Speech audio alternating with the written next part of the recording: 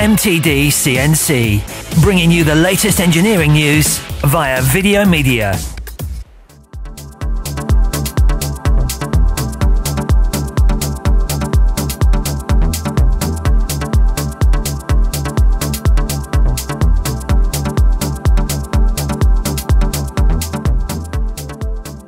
Nick, we're in Leeds today at MA Ford.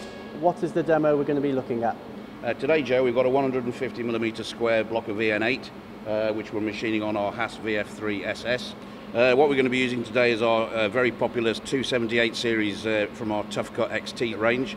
Uh, this particular one is a five flute tool with neck relief to allow us to get to deeper depths. We also offer this with a four times diameter neck and a five times diameter neck, full range of quarter radiuses, this is a, a, a heli pitch constant helix design. Uh, what we're actually going to do today is run at full flute length, uh, machine profile of this block and also machine the pocket. Uh, what machining strategy are we going to see?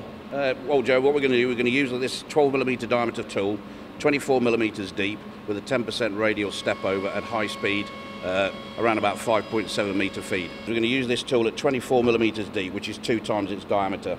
We're machining the profile uh, using a 10% radial step over, uh, feed of 5.7 meters a minute. Uh, this will basically work its way into the to the uh, to the profile, leaving around about 0.25 on for a finishing cut. We'll then move into the central area and we will make trochoidal or, or peel milling type strategy to rough out the, the initial uh, centre part of the pocket.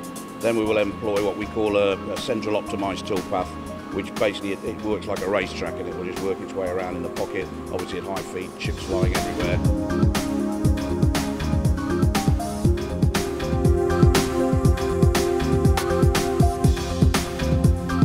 Um, the tool will then, once it's done the pocket, we will then do a finishing operation just to finish the walls and then the outer profile, chamfer, and then that's pretty much the, the, the component done.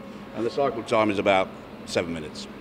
So 5.7 metres feed rate, 10% mm-hmm. step over, two yeah. times D. What's the metal removal rate? Uh, 164 cubic centimetres a minute. Really, that's impressive. Uh, well, to be fair, that's something that MA Ford, we do pride ourselves on that, where we can uh, take a customer component, uh, show them a more efficient strategies of machining, and take a lot of cycle time out of the, out of the part for them.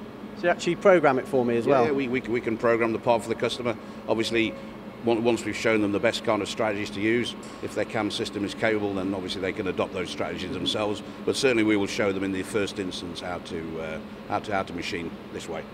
And this is a standard uh, tool from MA Ford. Yep, standard product off the shelf. We've got plenty on the, we've got plenty in stock. So uh, yeah, we've got yeah standard tool.